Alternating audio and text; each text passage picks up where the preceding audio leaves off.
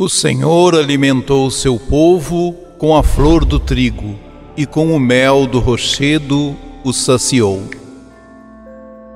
Hoje celebramos a solenidade do corpo e sangue de Cristo, na qual o Pai quer renovar conosco sua aliança de amor. O Senhor Jesus, sumo sacerdote, que invisivelmente preside esta Eucaristia, e se oferece a nós para fortalecer nossa caminhada rumo à convivência fraterna e à plenitude do Reino de Deus. Proclamação do Evangelho de Jesus Cristo segundo Marcos.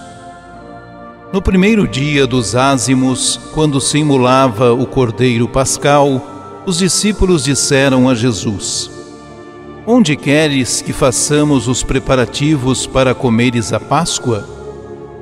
Jesus então enviou dois dos seus discípulos e lhes disse: Ide à cidade. Um homem carregando um jarro de água virá ao seu encontro.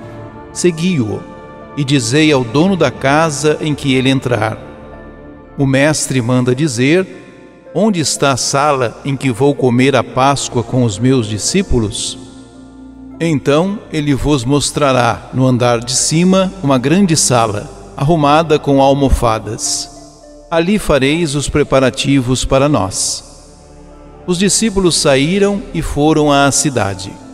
Encontraram tudo como Jesus havia dito e prepararam a Páscoa.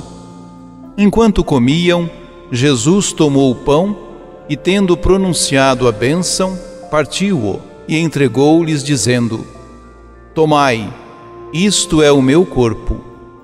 Em seguida, tomou o cálice, deu graças, entregou-lhes e todos beberam dele. Jesus lhes disse: Isto é o meu sangue, o sangue da aliança que é derramado em favor de muitos. Em verdade vos digo: não bebereis mais do fruto da videira até o dia em que beberei o vinho novo no reino de Deus. Depois de terem cantado o hino, foram para o Monte das Oliveiras. Palavra da Salvação.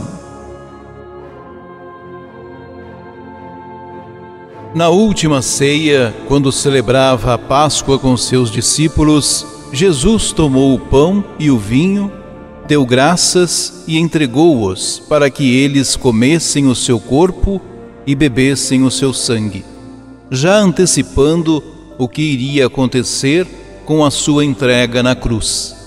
Assim, Jesus já proclamava a nova e eterna aliança, que iria ser perpetrada em favor dos homens. Por amor, Jesus se ofereceu como alimento e bebida de vida plena para nós por isso, o pão é verdadeira comida e o vinho verdadeira bebida.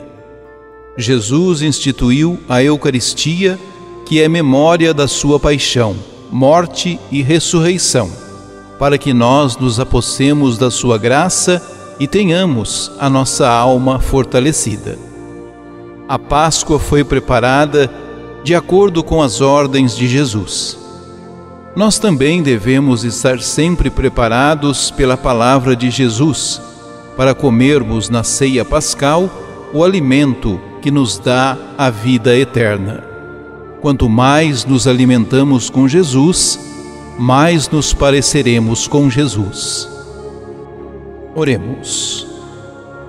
Ó Jesus, pão vivo descido do céu, durante a refeição, surpreendeste teus discípulos com uma grande novidade.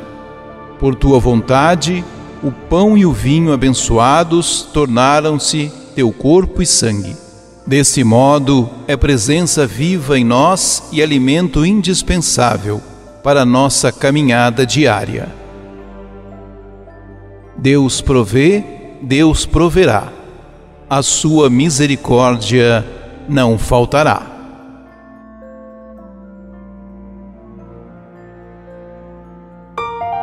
Ajude-nos a evangelizar. Se inscrevam em nosso canal, ativem o sininho, dê o joinha em nossos vídeos e compartilhem a palavra de Deus.